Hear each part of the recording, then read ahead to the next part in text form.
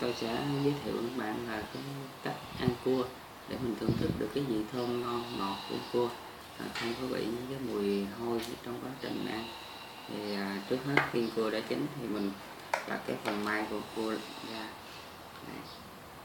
thì à, các bạn sẽ thấy những bên trong cua thì có những phần mình cần loại bỏ trước khi mình ăn.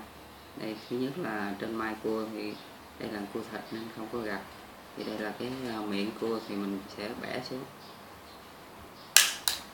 Sau đó mình lấy cái à, phần miệng cua ra. Thì dính đây đây là cái à, dạ dày của cua thì phần này mình bỏ không ăn được thì trong đây nó có rất là nhiều cát và thức ăn của cua ở đây. Thì phần này mình bỏ.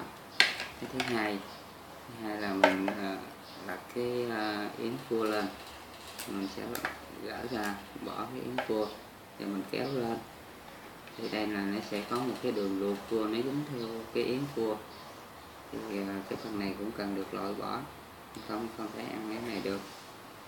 Và bỏ cái à, đây là những cái phần bên ngoài của cái miệng cua. Rồi cái phần kế tiếp là mình cũng nên loại bỏ trong quá trình ăn cua đó là cái này là cái mang cua, hay còn gọi là cái vú cua. Thì cái này nó không có ờ, bổ dưỡng. Và cái này nó thường có một cái mùi nên là mình cũng gỡ ra và bỏ cái phần này trước khi mình thưởng thức cái món thịt cua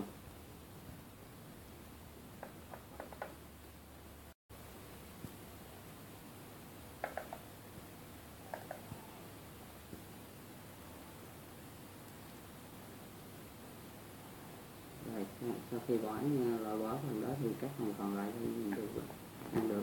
Chúc các bạn có một bữa ăn thật là ngon.